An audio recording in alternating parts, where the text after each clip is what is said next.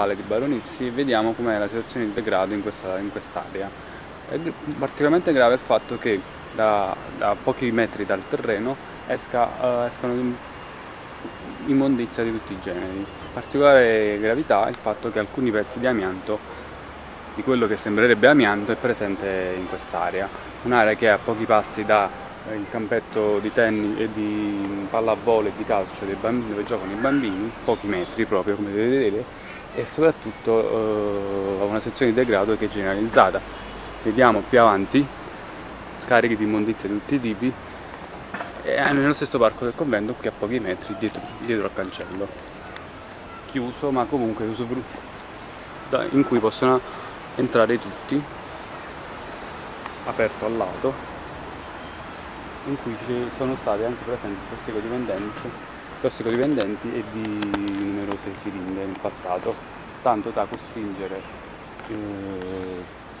i monaci della, del convento ad affiggere un cartello nei giorni scorsi attenzione alle siringhe, un'azione quindi di degrado e di eh, pericolosità per i tanti giovani che frequentano quest'area central, centralissima di Baronissi. Ancora un atto vandalico alla stazione dei Baronissi, ancora, ancora devastazione e distruzione come possiamo vedere dalle immagini che ci giungono un estintore qui giace a terra in questa uh, aiuola mal, tenuta e come possiamo vedere una cosa più grave, molto più grave, è la, la devastazione di, questo, di, questa porta in vetro sfondata con evidentemente con pietre, con sassi e che adesso giace così abbandonata. Situazione di degrado in generale nella, nella stazione di Baronissi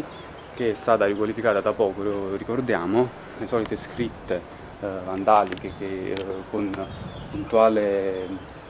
periodicità compaiono in, quest'area. Manca qui un attrezzo manca qui un attrezzo che serviva alla,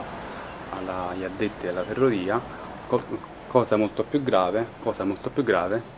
eh, sono state quasi subito divelte e rubate le eh, due macchinette che servivano ad obliterare i biglietti. Ecco qui le due eh, le due macchinette che erano state uh, poste da pochissimo tempo, pochissime settimane. Degrado anche nell'area antistante, da poco avevano anche inserito i, i, gli orari del, dei treni, questo per fortuna ancora in ottime condizioni, mentre questo è stato completamente deturpato da una scritta altre scritte possiamo notarle qui a sinistra alla stazione in questo muro che eh, con eh, quasi ogni mese viene eh, ripitturato e poi puntualmente eh, vandalizzato. Vado anche nella fontana antistante alla stazione da anni ormai, da mesi anzi, eh, senza acqua, senza luci e con eh, una grande quantità di immondizia all'interno,